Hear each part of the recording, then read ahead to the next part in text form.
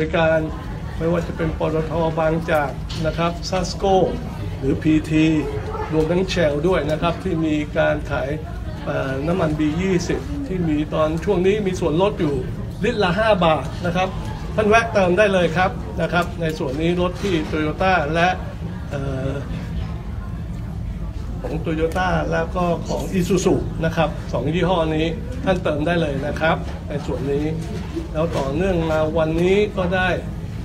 ประชุมหารือกับทางด้านของผู้ผลิตยานยนต์ เพื่อปรึกษากันเพราะว่าสมาคมยานยนต์ของออญี่ปุ่นนะครับจาม่าได้มีข้อคิดเห็นเพิ่มเติมขึ้นมาว่า ในเรื่องของการผลิตการใช้น้ำมันดีเซลที่จากปัจจุบันเนี่ยผสมไบโอดีเซล 7%เนี่ยนะครับ เราจะเพิ่มเป็นส่วนผสมเป็น 10%เพิ่มขึ้น แล้วทางจามาหลังจากพิจารณาการสอบถามกันมา 4-5 ปีผ่านมาแล้วเนี่ยนะครับ เราก็เพิ่งรับทราบมาเมื่อต้นเดือนนี้เอง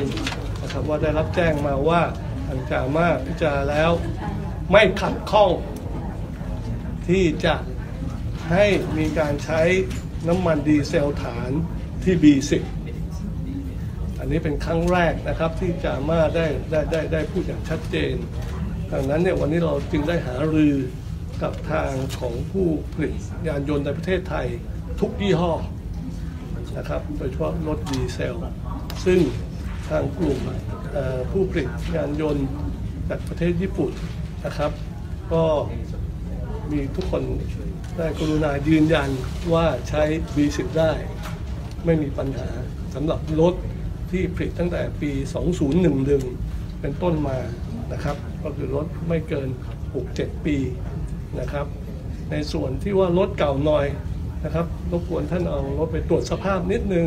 ท่อยางข้อต่ออะไรต่างๆนะครับ ให้ดูว่าเป็นอยู่ในสภาพที่พร้อมใช้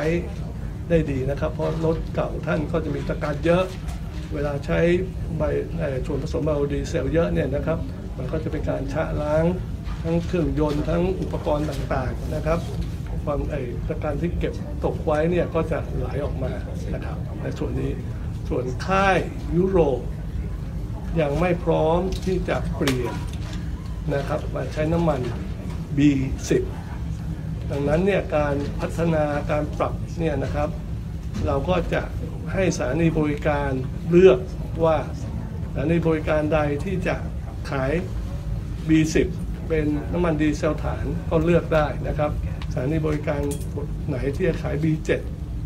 เป็นฐานก็เลือกได้นะครับ โดยทั่วไปแล้วสถานีบริการก็จะมีขายเป็นหลักอยู่เกรดหนึ่งไม่ว่า B7 หรือ B10 ซึ่งจะมีตราบอกให้ชัดเจนนะครับ ถ้ารถญี่ปุ่น โดยส่วนใหญ่ใช้ B10 ได้นะครับ ถ้ารถที่เป็นมาจากสหรัฐหรือมาจากยุโรปโดยเฉพาะยุโรปเนี่ยนะครับ ก็จะต้องระมัดระวังนิดหนึ่ง